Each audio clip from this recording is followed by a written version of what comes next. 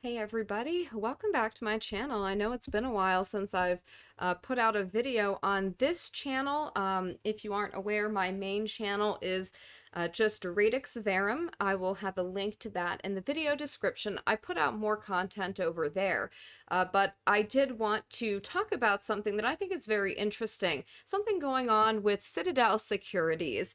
Uh, before I get into that, I just want to play a clip real quick of Ken Griffin.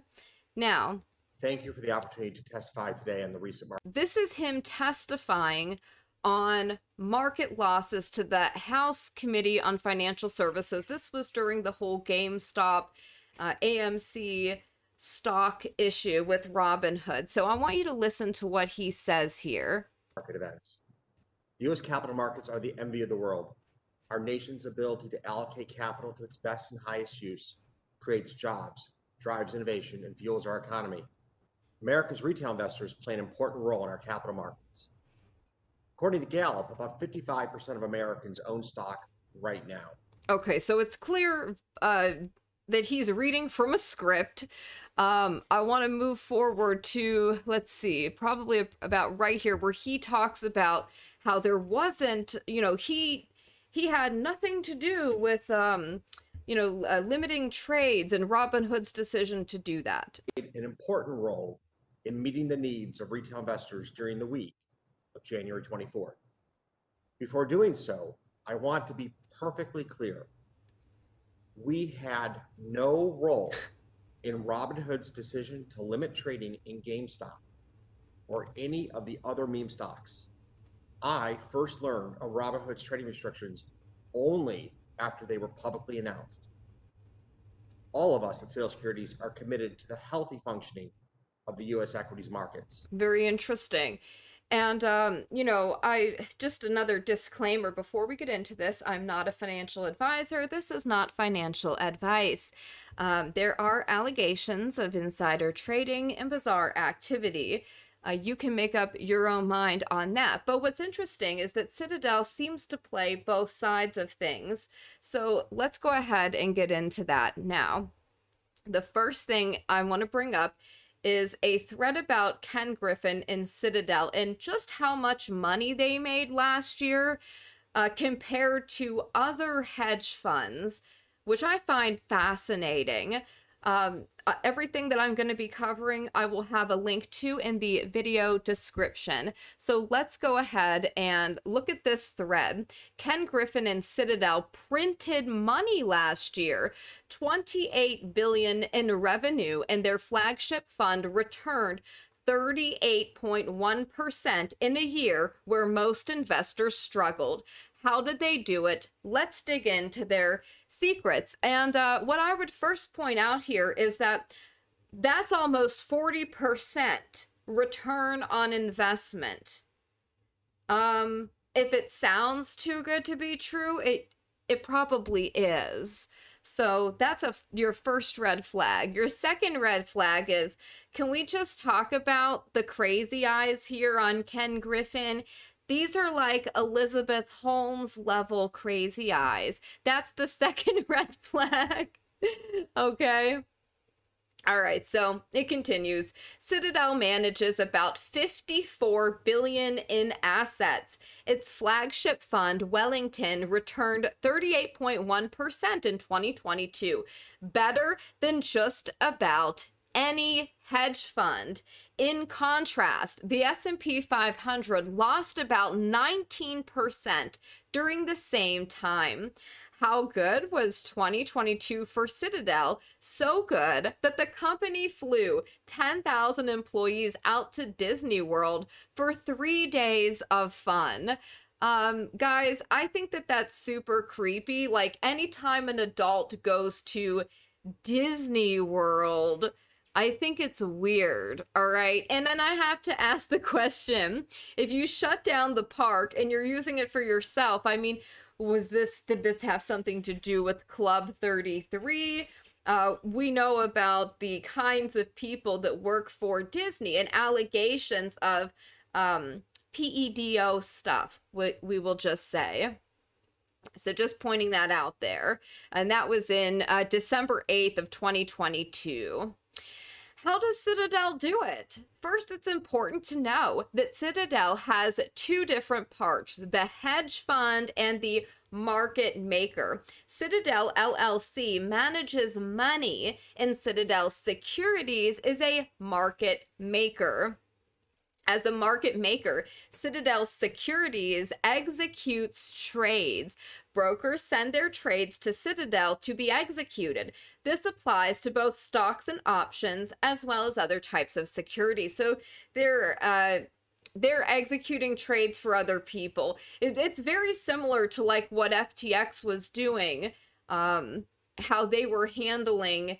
Uh, they were like an exchange for uh, crypto. So it, it's kind of similar to that. Um, and we do know, by the way, that there's a connection between FTX and Citadel, and we'll get into that in a moment.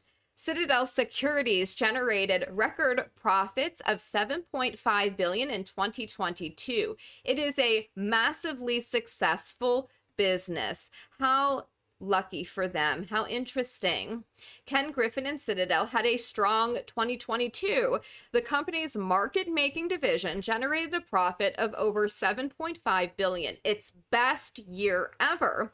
And the company's flagship hedge fund rose 38% and had a positive gain in each of its five core strategies. Now, while everybody else is experiencing losses and having a bad year, they are profiting that much. And in every one of their their core strategies. I mean, that is another red flag. That just seems very odd. It, it doesn't seem completely organic, right? Hmm. So that article was from just a couple days ago.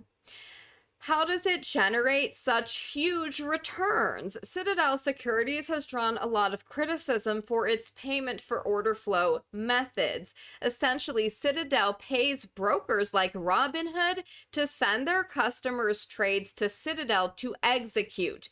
The SEC is expected to propose rules that would restrict or change payment for order flow. So Virtu, Citadel, etc. are pushing back. Of course they are. Now that was from June of 2022. Ken Griffin has infamously taken the opposite side of many trades that customers of Robinhood and other brokers piled into over the last couple years. Did his fund use inside information from his market maker operation to profit? That is a very good and very important question, and it makes you wonder. Citadel Securities handles a very large portion of all trading in the United States thanks to the payment for order flow model that it helped to popularize. Now, this is a very, very interesting uh, thing here from uh, AMC to Moon, Bernie Madoff's firm handled 10% of all market orders. Now, contrast that to today. Ken Griffin and Citadel currently handle over 40%. So you have to ask is this another Madoff type Ponzi scheme going on? Is it also very similar to what FTX and Sam Bankman Fried were doing? Many have speculated that Ken Griffin antagonized AMC and GameStop investors so Citadel could continue to sell them call options at a huge premium. That is very interesting. Think how much premium just got burnt trying to pull a gamma squeeze in GameStop. How long can the apes take losses like this? Incidentally, the option writer is probably Citadel. Ken Griffin says thanks. What's next? Well, for Ken Griffin, he's planning to put some of his profits toward a 51 story office tower in Manhattan, a nice new skyscraper expected to be completed in 2023. So she has a link to Grit Capital, that is her Substack uh, newsletter, and I encourage everybody to sign up for it. Uh, you'll get an email notification every time she publishes, and it is free, and she does very good work, so I highly recommend that. Now, we'll talk about payment for order flow, which she was talking about Citadel helping to popularize. Payment for order flow is a form of compensation usually in terms of fractions of a penny per share, that a brokerage firm receives for directing orders for trade execution to a particular market maker or exchange.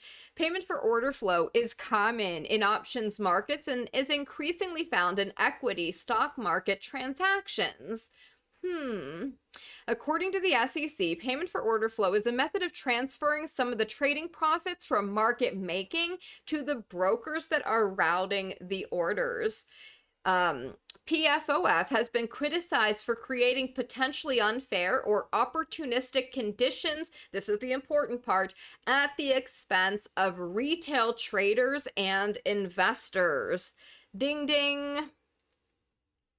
Brokers are required by the SEC to inform clients of compensation they receive for routing their orders to a particular market maker.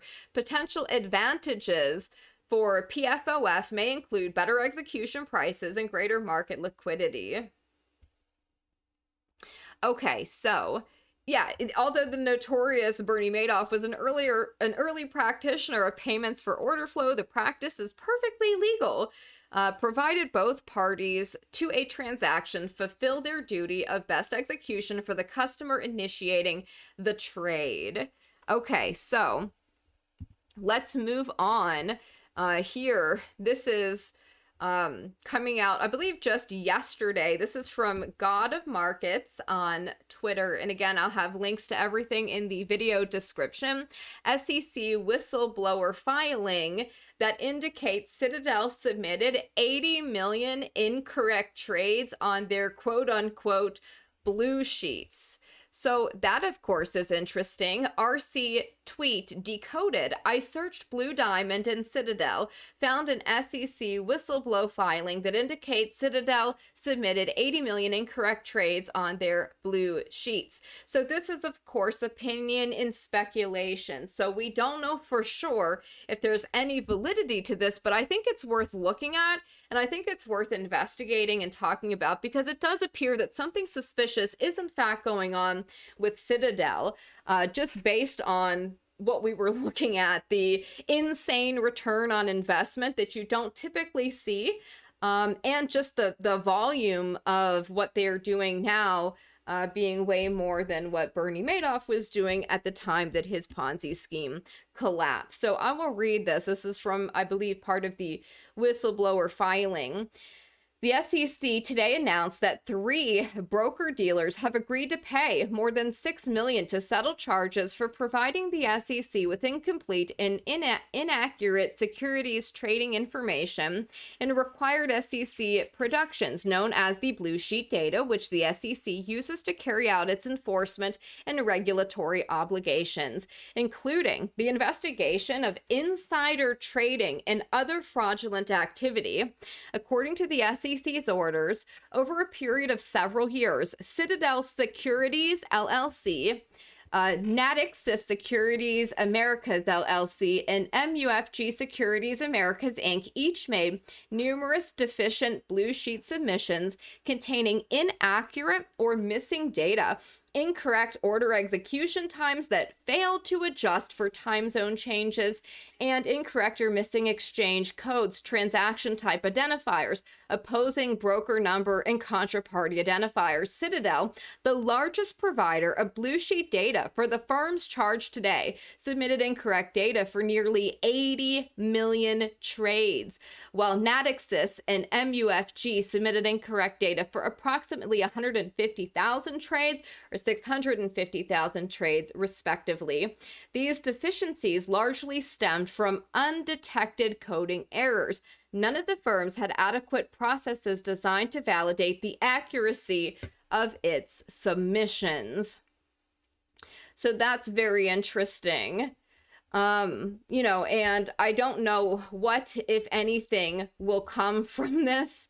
Uh, so that's just something to keep an eye on. This was another interesting thing. Uh, this was a little thread posted by Dade Murphy. He says, if anyone wants to go down a huge rabbit hole and traverse a maze of questions, check this out. Meet Adam Aaron. No, not our Adam Aaron. Well, maybe.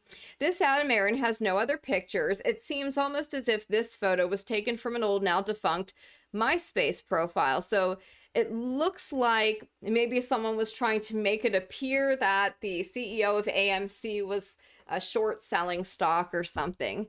So, yeah, this is interesting.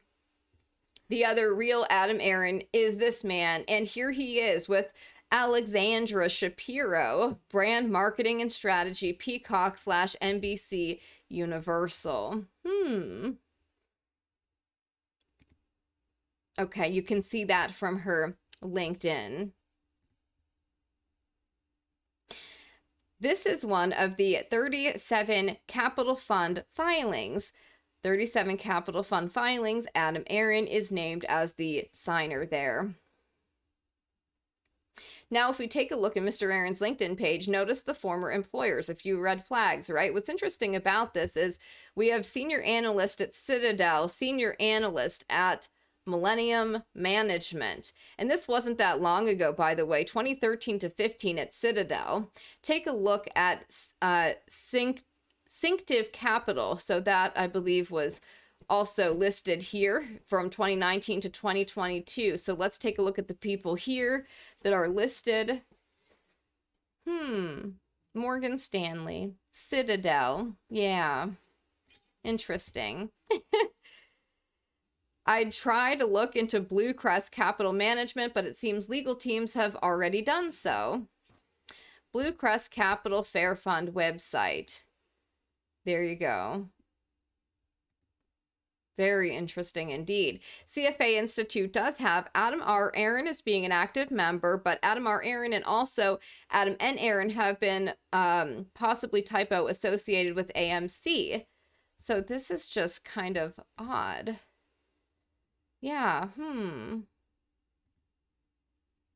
What the? okay, so now we continue. This is taken from 37 Capital's own website. Please notice the signature with the middle initial. Adam Maximilian Aron, born September 30th, 1954, is an American businessman and chairman and CEO of AMC Entertainment Holdings. There you go. There's his little signature there, AMC Theaters. There's coincidence and then just plain weird oddities. Forgot to show the connection between Alexandra and Adam. They were um, listed here selling shares. So 37 Capital Fund, Series 1 and Series 2. And then under that, Adam, Aaron and Alexandra Shapiro. So, um, yeah, it's very strange. Was it? It's maybe someone was trying to make it look like they were shorting stock. And then I thought this was interesting too. So apparently, Alameda, FTX's Caroline uh, Ellison, LARPed on 4chan and posted about how she was excited for the GME quote unquote um, self yeeting and that AMC isn't worth a day to celebrate. I'll celebrate their self yeeting with the GME one. So there's a link to the archive. You can look at it yourself. And let's just point out the little username she was using Yahweh loves you.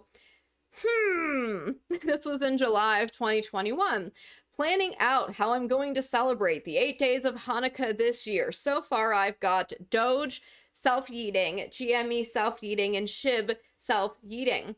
What other bag holder self yeeting are there to celebrate later this year? I decided AMC isn't worth a day. I'll celebrate it as part of GME. She is a nasty woman. Even she saw that AMC was a scam and wasn't worth following the events of. And now I wonder what role Alameda or their friends had in trading GME. Very good question we can talk more about Ken Griffin. This was an article I found from 2012. Billionaire thinks his money should buy more influence in government. I like the uh, the graphic they have here of Ken uh, on the little um, playing card. I thought that was kind of funny. Billionaire hedge fund founder Ken Griffin feels his big money should buy more influence in Washington. That's also what Sam Bankman Fried was trying to do. Uh, Griffin, who donates the legal limit to Mitt Romney and his super PAC, yikes, told the Chicago Tribune that rich guys like him should be able to dictate policy and politics. The founder of the hedge fund Citadel was asked if he thought rich people had too great of an influence on politics. Quote, I think they actually have an insufficient influence, unquote. He responded. Quote, those who have enjoyed the benefits of our system more than ever now owe a duty to protect the system that has created the greatest nation on this planet, unquote.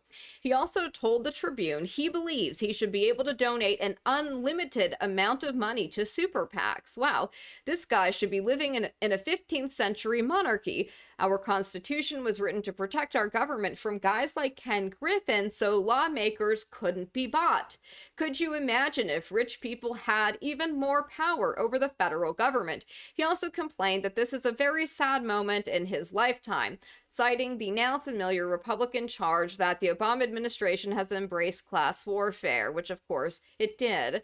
Ken Griffin calls it class warfare. But when the 1% continues to control most of the wealth and political power in this country and the middle class is being driven into poverty, something has to be done to redistribute the wealth of our nation. Now, that, of course, came from Think Progress, and they don't understand how this works, and they don't understand how their people, the so called Democrat Party, are the ones that are taking the money from these people and redistributing whose wealth, not the rich people's wealth. They're redistributing yours.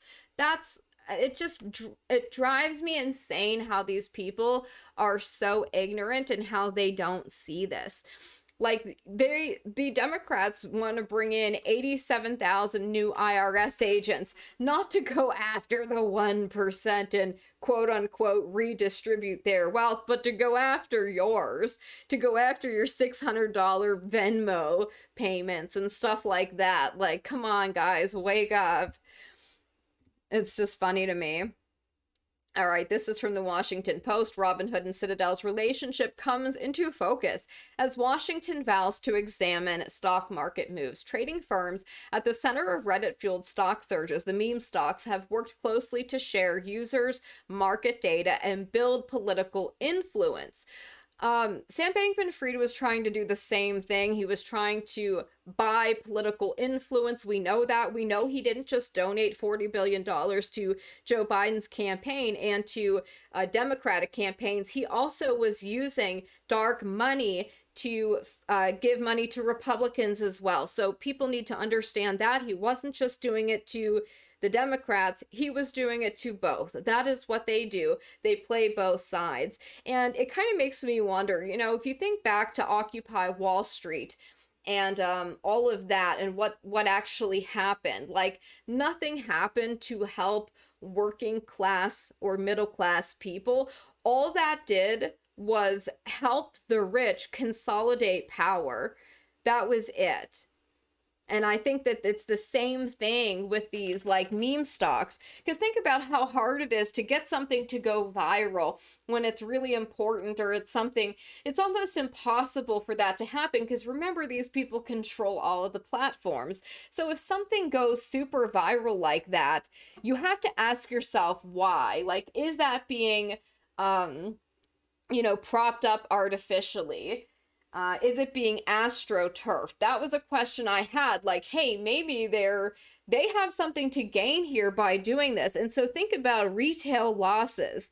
Um, FTX, the FTX scam was billions of dollars of losses for like regular people, right? For maybe retail investors. I think that the um, GameStop and AMC is way more than that. I think there was way more of retail losses um, associated with that, and so I would just you know tell people to think think about it. It how many people lost money playing into that, and it and it wasn't them, you know.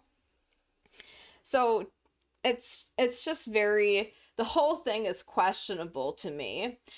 Robinhood, the online trading app heralded by some as a democratizing force to empower small investors, has spent the past few years nurturing a close relationship with one of Wall Street's biggest players and building ties with some of the most powerful institutions in Washington. The Silicon Valley based trading platform makes a large amount of revenue from Citadel Securities, a Chicago based financial services giant who, as we just covered, was the only one to make massive profit last year when everyone else was taking losses. Robinhood's regulatory filings show the company charges large investment firms called market makers fees to access real time information about which stocks its users are buying and selling. That's you guys, the small retail investor a practice some regulators and industry watchers have seen as a potential conflict of interest. Yes, because then Citadel can take that insider information and they can uh, bet against these people, right? They can short them. And I think that's what was happening. I mean, it's kind of remarkable to me how this stuff is happening and no one seems to be paying attention and you got you all know nothing is going to happen by the way like these people aren't going to be held accountable of course robinhood routes more than half of its customer orders to citadel. By far its largest market making partner by volume robinhood disclosures show. The app also works with virtu g1 execution services wolverine and two sigma.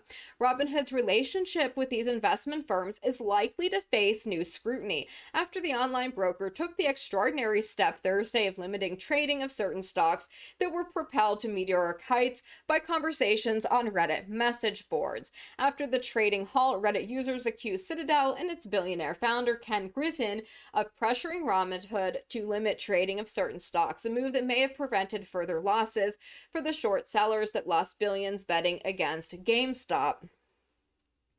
Okay, so on Twitter and the Reddit forum Wall Street Bets, retail investors speculated Robinhood had caved to pressure from its powerful business partner because the company does not charge its users any fees. A key part of Robinhood, Robinhood's business model relies on Citadel and similar companies. There's another thing. If something is free coming out of like Silicon Valley, you are the um you're the the uh the product there, okay? You're the product. They're selling your information, they're selling your data, and that's why it's quote unquote free. There is no such thing as a free lunch. You all know that. In a blog post Thursday afternoon, Robinhood strongly denied its move was influenced by the large investment firms it works with to execute trades. Quote, this was a risk management decision and was not made on the direction of the market makers we route to, unquote. So remember at the beginning of this video, I played a clip from Ken Griffin, the CEO of Citadel, saying, Oh, we, we had nothing to do with this. We didn't pressure anybody. In fact, we didn't find out about it until everybody else found out about it. A spokeswoman for Robinhood declined to comment on the company's relationship with market makers. Josh Zeitz, a spokesman for Citadel Securities, said in a statement that the company, quote, has not instructed or otherwise caused any brokerage firm to stop, suspend, or limit trading or otherwise refuse to do business. Citadel LLC, a separate hedge fund also founded by Griffin, recently helped bail out Melvin Capital, a fund that sank 30% in a few weeks after shorting GameStop.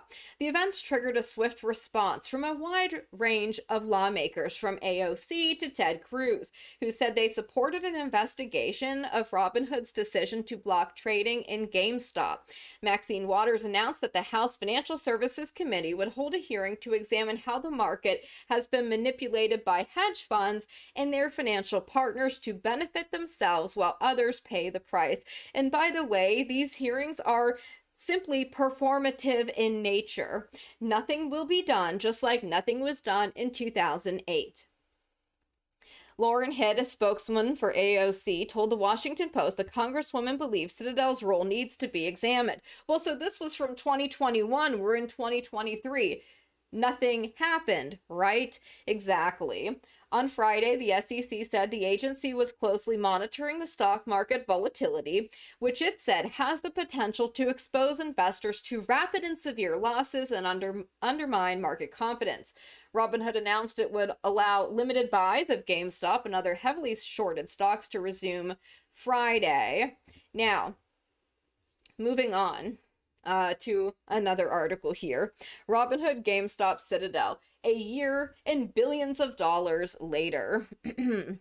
The frenzied trading in GameStop, AMC, Bed Bath & Beyond, and other quote-unquote meme stocks in early 2021 resulted in lots of media coverage, hearings on the Hill, and international attention. The events raised critical questions about the fairness of our so-called free markets, the treatment of retail investors, the gamification of trading, the role of certain trading strategies, conflicts of interest, interconnectedness, and something called payment for order flow. At the center of all that was the online retail broker called Robinhood Securities, which had a slick mobile phone app that lots of young new retail traders were using almost all trading for the first time. They don't know anything about what they're doing, basically. July 29th marks the one year anniversary of Robinhood going public at $38 a share. It's now hovering at around $9 a share, down $29 or more than 76%. Meaning, if you'd invested $1,000 in Robinhood on the day of the IPO, it would only be worth a mere $240 today. In the past year, Robinhood has lost 10% of their monthly users, laid off 9% of their employees. Of course, Robinhood's retail traders have fared even worse.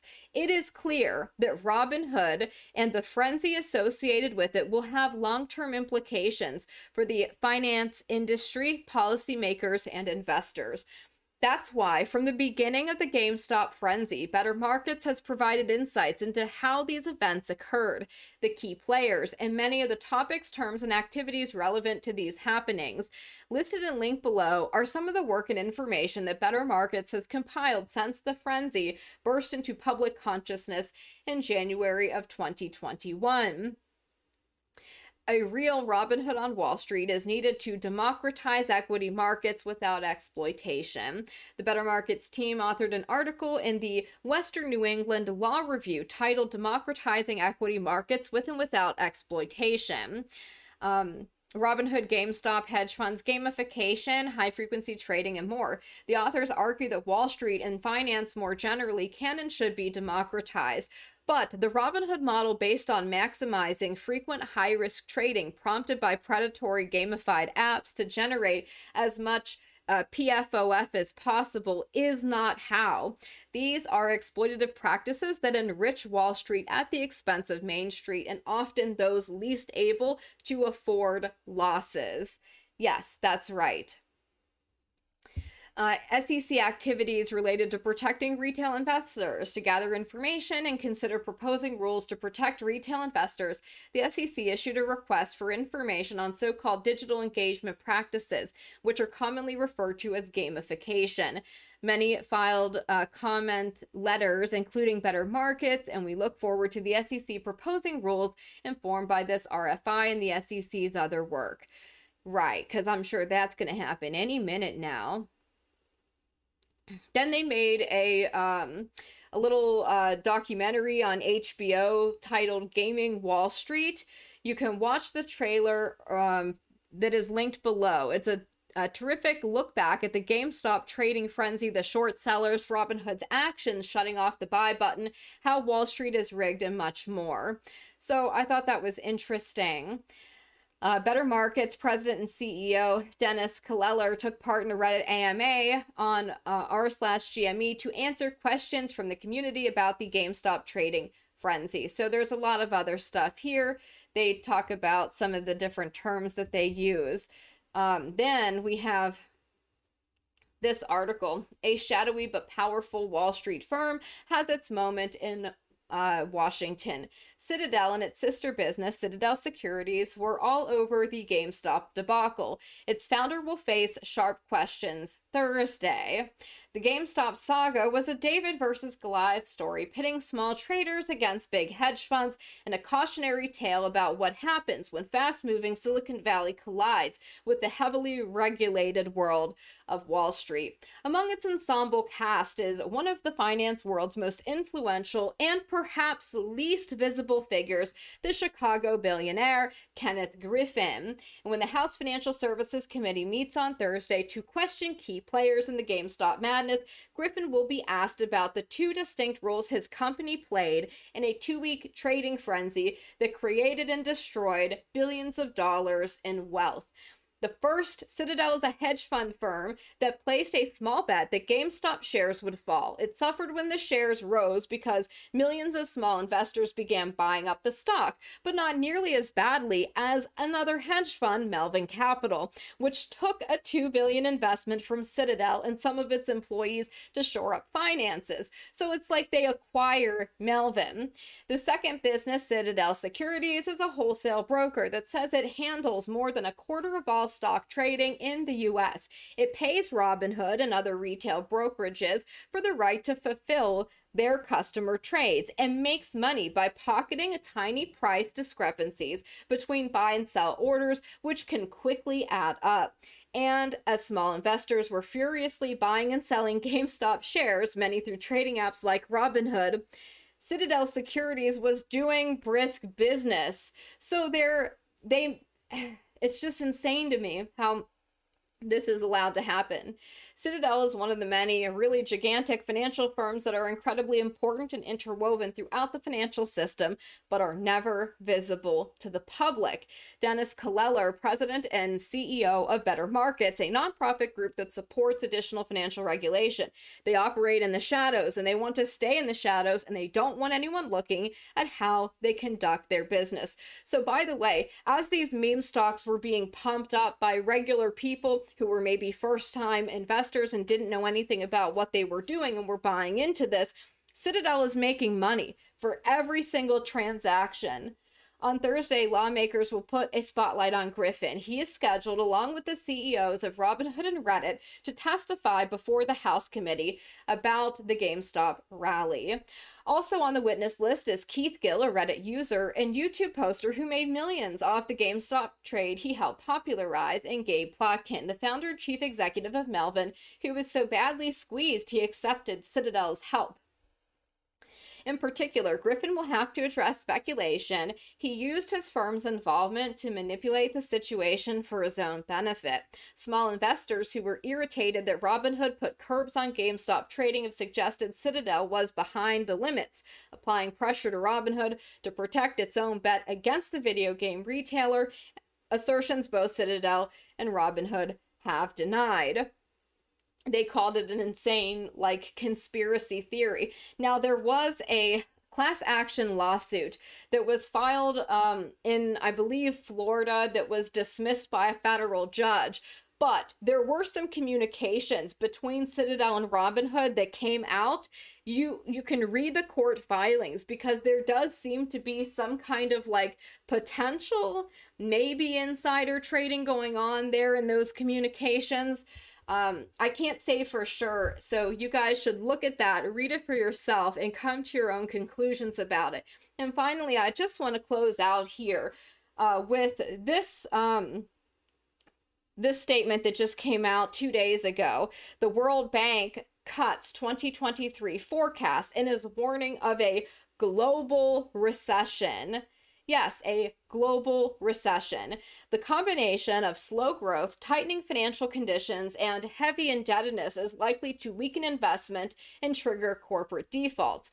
What that means is more consolidation of wealth and power for the top 1% while the rest of us suffer. This is something that I have been talking about and warning about for a while. If you've been paying attention and following my work, I have been telling people that you need to be prepared for things to get much worse before they get better. I've encouraged people to have um, six months of food and water in savings and cash around just in case something happens. You know, most Americans currently, though, live paycheck to paycheck and they have massive credit card debt. So the cost of living continues to skyrocket. People are being priced out of the housing market and um, their wages are stagnant and layoffs are happening. So it is going to be a bloodbath, but all of this stuff is done on purpose. And so we have to ask ourselves is the next financial implosion going to be Citadel?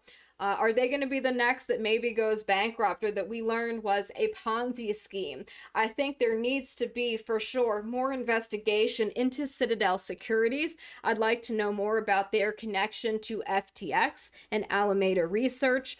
Um, and I think that it's anytime there is that kind of return on investment, something isn't right there. Uh, and so I think that, you know, where there's smoke, there's fire. So, anyways, that's my thoughts. I hope you guys enjoyed the video. Uh, let me know what you think in the comments section below.